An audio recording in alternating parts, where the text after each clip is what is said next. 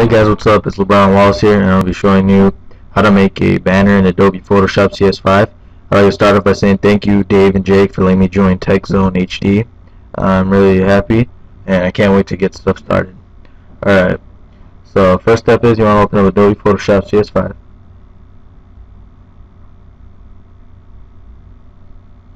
Go to File,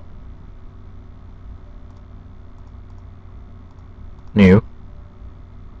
Make sure the width is set to 900 pixels and the height is set to 200 pixels. And color mode is RGB color. Stands for red, green, and blue. Click OK. Now go to Filter, Render, Fibers. You'll get the streaky pattern. Click OK. Comes up on your background. Double click background. You can name whatever you want. I'm going to be doing our channels banner. So you uh, so now that you have that you can go FX go to gradient overlay go to normal overlay. Choose what type of gradient you want. There's different styles colors patterns here. I'm gonna be choosing TechZone HD colors which is uh, mainly blue I think. Sorry if I'm wrong Dave and Jake. Alright so. Okay. Choose this alright that's good okay. Okay so yeah now you can type text.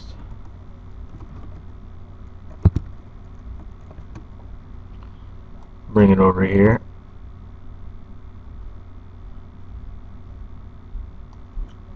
Now click on that layer 1 FX blending options drop shadow. Now you want to go to distance right there you see the drop shadow? See how further away you want it from the text? And make it a little dark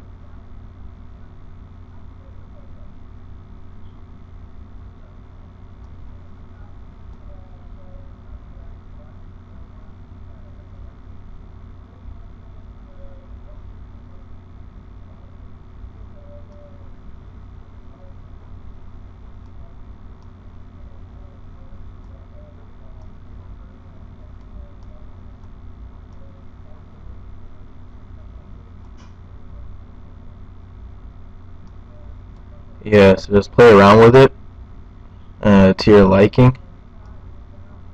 And you can go to next you can go bevel and emboss. And you can do the depth how much you want it.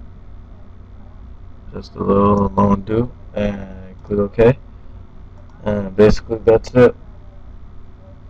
That's how you make a banner in Adobe Photoshop CS5 a quick tutorial. You can play around there's a bunch of other things you can do Adobe Photoshop I haven't gone through and that's how that's how basically do it. Alright. Thank you for watching guys